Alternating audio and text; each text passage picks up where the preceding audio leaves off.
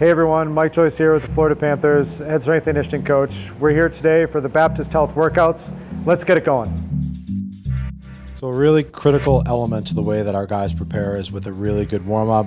It's going to raise their internal body temperature, get their muscles ready to go. Um, we're going to take all of their joints through their full ranges of motion. We're going to get all of their muscles activated, pass some tension through those tissues, and really get these guys uh, primed and ready to hit the ice.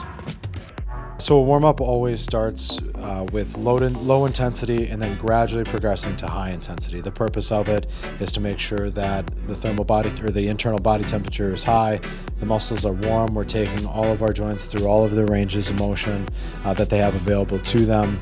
Um, we're going to use things like track and field drills uh, to make sure that they're all warm.